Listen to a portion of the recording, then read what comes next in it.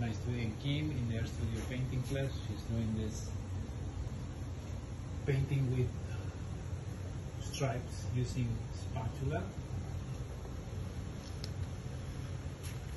Playing with the first layer she made a week before with pouring paint, remember? We posted two.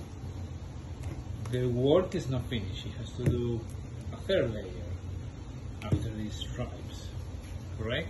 Correct.